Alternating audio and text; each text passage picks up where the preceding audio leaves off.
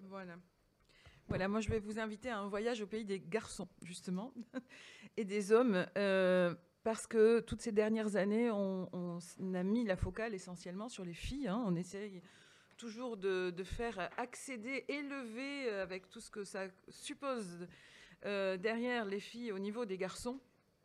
Euh, et euh, il n'y a qu'à voir le nombre de chartes, de conventions, de, même de dispositifs. On raisonne toujours en termes d'égalité filles-garçons.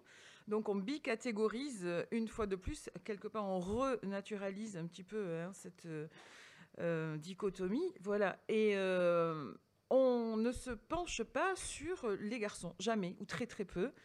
Euh, on veut émanciper euh, les uns comme les autres des déterminismes sexués, sauf qu'on se penche sur une seule des catégories. Et euh, il est bien évident que si on ne travaille pas aussi sur les, et avec les garçons, si on ne s'attache pas à déconstruire la façon dont les garçons se construisent, les hommes se construisent, ce que j'ai appelé dans mes travaux la fabrique des garçons, ben, on se heurte à un mur et on voit très bien que malgré la quantité de, colloques, de séminaires, de livres, d'ouvrages, d'actes de colloques, etc., euh, qui existent et qui se font, euh, ben, les, choses avancent peu. Voilà. Euh, je vais commencer par... voilà. quelques chiffres, parce que je crois qu'il n'y a rien de plus éloquent, que je vous laisse regarder. Vous voyez pas, au fond? Alors... D'accord, je prends ta place. Alors le tout c'est que moi. Est-ce qu'on peut le mettre en grand là-dessus? Parce que moi je vois pas non Ah c'est super. Avec moi, bon. Ça marche? Est-ce que le micro est branché? Non. Je change, j'éteins celui-là. Bon, vous ne voyez pas au fond? Non? Donc je vais lire, tant pis. Je, comme je ne vois pas très bien, je vais lire derrière moi aussi. Donc 96,5% de la population pénitentiaire est masculine, chiffre INSEE 2012. 83,6% des auteurs de crimes conjugaux sont des hommes, 50% des 16,4% des femmes meurtrières étaient victimes des violences de leurs conjoints. Chiffre ministère des droits des femmes 2013. 69% des tués en voiture sont des hommes. 40% des femmes tuées étaient passagères des, hommes. Chiffre prévention routière 2012. 94% des tués en deux roues sont des hommes. Sur les 6% des femmes tuées en deux roues, une sur deux était passagère. Prévention routière 2012. 74% des personnes décédées par noyade accidentelle sont des, hommes, pardon, ministère de l'Intérieur 2012. 88% des décès traumatiques liés à la pratique sportive concernent des hommes. INVS 2010. 90% des 1500 sportifs et sportives décédés de mort subite sont des hommes. CHU, Pité-Salpêtrière 2012. 75% des décès dus à l'alcool concernent des hommes. Euh, bon, je vous épargne euh, hein, la, suite des références. 82% des décès dus au tabac concernent des hommes. Là aussi, on, actuellement, vous savez, il y a un discours qui dit que les femmes de plus en plus, etc., etc. Mais enfin, les chiffres sont là. 75% des personnes décédées par suicide sont des hommes. Voilà, et on va s'approcher tout doucement de l'école. À l'école, puisque quand même c'est le, champ qui nous intéresse. Donc là, il s'agit de mes travaux. J'ai travaillé sur les, sanctions scolaires, hein, euh, sur à peu près 6000 sanctions et punitions. 80% des élèves punis, tout motif confondu, sont des garçons. 83% des élèves sanctionnés pour indiscipline ou insolence, donc là on est dans les rapports sociaux, sont des garçons. Pratiquement 92%, 91,7% hein, des élèves sanctionnés pour des actes relevant d'atteinte aux biens et aux personnes, donc dégradation, euh, violences physiques, etc., sont des garçons. 80 à 90% des élèves qui passent en conseil de discipline donné académique Bordeaux, je viens de Bordeaux, sont des garçons. 86% des élèves des dispositifs relais, c'est-à-dire des dispositifs hein, où, vous savez, on, on met les élèves qui sont en décrochage, qui posent des problèmes de comportement, euh, ascolaires, etc., sont des garçons. 75% des élèves décrocheurs sont des garçons, et j'aurais pu continuer comme ça sur trois ou quatre diapositives avec euh, les hyperactifs, avec euh, les 10, euh, avec etc., etc., etc. Voilà. Alors, je vais clarifier quand même un petit peu ma, ma position. que, par exemple, 80% des élèves punis soient des garçons ne veut absolument pas dire que 80% des garçons hein, sont punis. Voilà, entendons-nous bien, tous les garçons n'entrent absolument pas dans cette catégorie-là. La catégorie garçon-homme est hautement hétérogène, au même titre que la catégorie des femmes. Hein. Euh, donc, ce ne sont pas absolument pas des, propos contre les hommes. Je n'ai absolument rien contre les hommes, et ça sera certainement pas euh, la direction que je vais prendre là. Euh, de notre côté, euh, il se pose quand même une question euh, importante. Est-ce que ces chiffres-là que j'ai donnés, est-ce que les hommes qui entrent dans ces statistiques sont responsables de ce qui leur arrive? Ou est-ce que, au contraire, finalement, ce seraient les premières victimes euh, de l'inégalité sexuelle? Hein, On peut prendre les choses sous deux angles. Alors, le risque aujourd'hui, c'est la tentation masculiniste, c'est-à-dire euh, ce qui se passe là actuellement, euh, notamment en Amérique du Nord, dans une moindre mesure en France, mais ça vient de plus en plus fort, hein, c'est euh, d'instrumentaliser ces statistiques. J'ai eu ça avec mes propres travaux. Parfois, on a, instrumentalisé mes, données hein, pour finalement considérer que les hommes seraient les premières victimes, justement. Euh, instrumentaliser la vulnérabilité des hommes pour nier la permanence du système de domination masculine et d'une condition féminine qui est, tous les chiffres le montrent, toujours marquée par les inégalités, que ce soit la violence conjugale, que ce soit les salaires moindres, que ce soit le plafond de verre, les tâches domestiques, la maternité pénalisante, euh, on a, évoqué euh, le droit à l'avortement, etc. Les masculinistes renvoient aux avancées féministes la responsabilité des chiffres et considèrent les hommes non pas comme une catégorie dominante, mais finalement uniquement comme des victimes, hein, renverse complètement le point de vue. Voilà. Euh, alors, qu'est-ce qu'ils disent? Ils disent que euh, les, les violences masculines, finalement, les hommes qu'on retrouve dans ces statistiques, eh bien, ce serait la conséquence d'une soi-disant crise de la masculinité. Ça fait des années, des années, des décennies qu'on parle de la crise de la masculinité.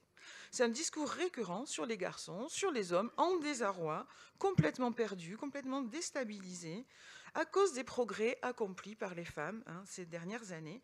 Des femmes qui non seulement auraient atteint l'égalité, mais se seraient littéralement emparées du pouvoir. On aura l'occasion tout à l'heure euh, bon, ben là, euh, je, lis aussi ou vous voyez ce qu'il y a écrit en bas, hein euh, J'ai interviewé alors dans, notre champ de, l'école, tout simplement. voilà ce que des discours que l'on peut recueillir. J'en ai vraiment des, des, entiers hein, de la part d'enseignants ou d'enseignantes. Elle parlait de garçons qui posent des problèmes, qu'on retrouve dans les problèmes de comportement qui sont régulièrement punis. Ces garçons-là, donc ceux qui posent des problèmes, sont dans un milieu très féminisé. Le taux de féminisation de l'éducation nationale, c'est énorme. L'école primaire, c'est fantastique. Et dans le secondaire, c'est pas mal non plus. Il faudrait voir le nombre d'enfants qui ne voient leur père qu'occasionnellement. Je ne parle pas seulement des enfants de divorcés.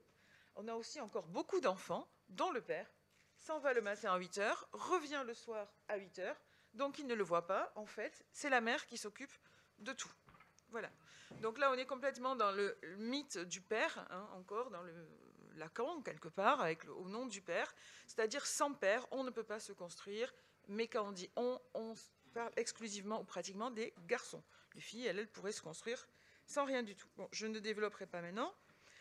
Voilà, et on, a aussi des, y compris des scientifiques qui remettent en cause la disparition des grands rites euh, intégrateurs, initiateurs dans le monde des garçons, hein, des grands rites pour les confirmer dans leur identité d'homme.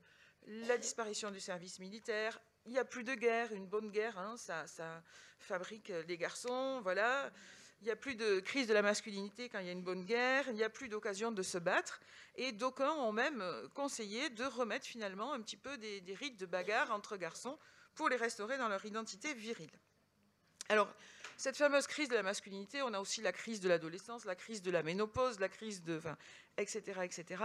Euh, on sait très bien qu'elle varie euh, complètement d'une culture à l'autre, que la plupart de nos hommes vont très bien, merci, la plupart de nos ados aussi, et la plupart de nos ménopausés aussi. Hein.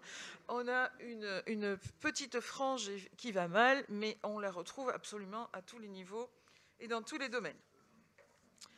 Euh, on va aller un petit peu plus, euh, un peu plus loin dans l'école. Il me reste cinq minutes, ça va être très difficile.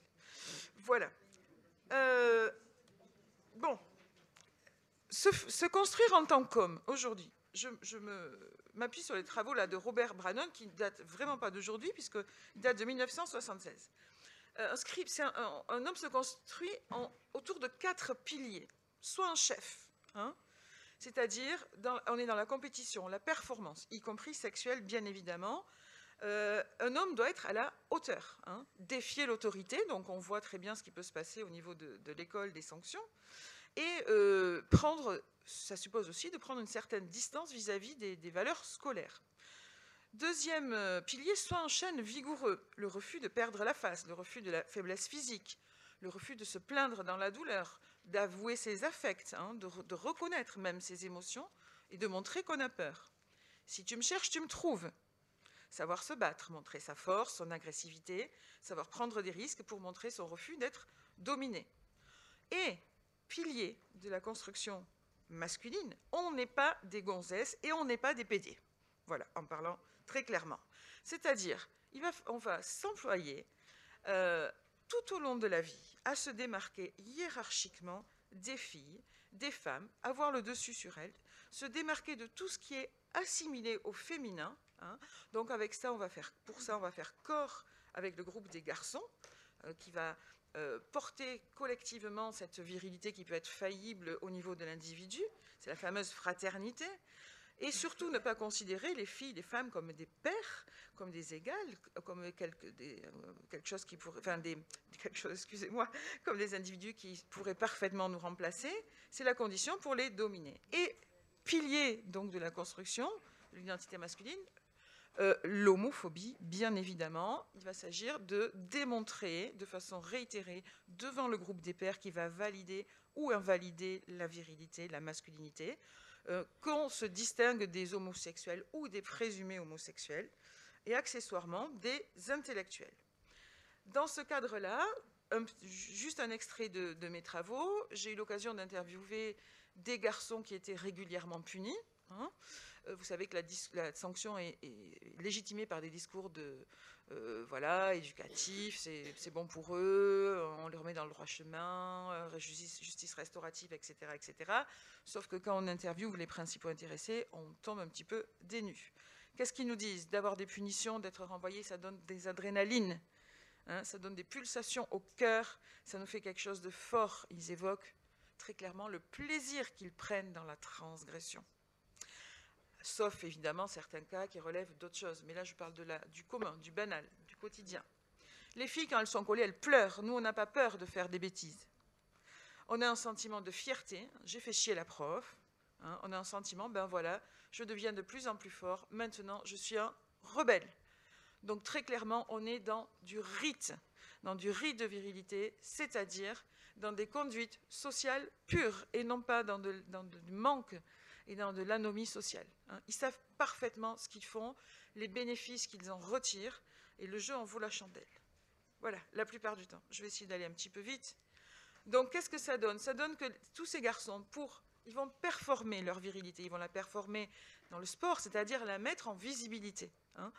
euh, la rendre ostentatoire. Ils vont la performer à travers les transgressions, évidemment, ils vont la performer à travers l'orientation, ils vont la performer à travers la violence de domination.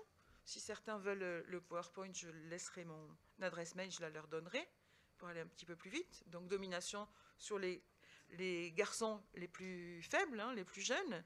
Domination aussi euh, sexiste et homophobe sur les filles. Donc toutes les enquêtes montrent les attouchements, les propos obscènes dont elles sont l'objet, et mais aussi euh, montrent chez les garçons qu'il y a euh, beaucoup d'agressions qui ont lieu, d'agressions homophobes dans les espaces qui échappent au regard des adultes, à la surveillance des adultes, toilettes, douches, vestiaires, euh, fonte de bus, etc. Voilà, euh, c'est quelque chose qui traverse aussi évidemment le rapport pédagogique. Hein. quand une femme enseignante se fait traiter de pute par un élève, un, professeur euh, a droit à un, doigt d'honneur ou à tout un tas de choses comme ça, on est là dans l'inversion du rapport hiérarchique auquel on substitue un rapport de genre, hein. c'est-à-dire on renvoie à sa condition biologique euh, de femme ou à une présumée homosexualité. Donc là, on, voit que le sexisme et l'homophobie se rejoignent là dans la dévalorisation systématique de ce qui est lié au féminin. Euh, j'arrive à la fin, je conclus. Sexisme ordinaire des enseignants, donc vous voyez, euh, là aussi, bon, les filles sont plus vicieuses, plus tordues, plus hypocrites, elles se font moins prendre, elles font les choses en douce. Les garçons, eux, bon d'accord, ils sont sanctionnés, mais finalement, on admire un petit peu leur côté un brut de décoffrage, qui font les choses en face, etc. Voilà, et donc j'arrive à ma conclusion. Quelle est-elle? C'est que, euh, je renvoie à ce que j'ai dit au début, hein, euh, c'est très bien de se pencher sur l'égalité filles-garçons, c'est très bien de, vouloir faire accéder les filles à quelque chose de considéré comme supérieur, mais, et donc masculin.